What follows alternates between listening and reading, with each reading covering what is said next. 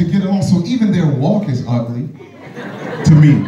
For those who love caterpillars, this is not an indictment against you.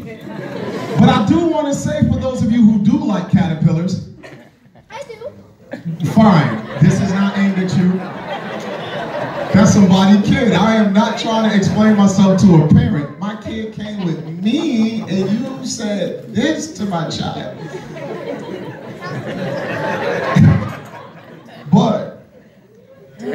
For those of you who would like let a tarantula crawl on your shoulder or you, would go to the pet store and put a snake on your neck, God bless you.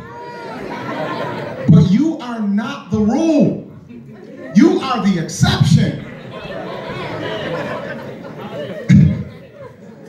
I know goons from the street. You understand what I'm saying? I know guys who unfortunately have committed murders who we disciple now. And they still got habits that they that you know that's not easy to get away from. So they still have mannerisms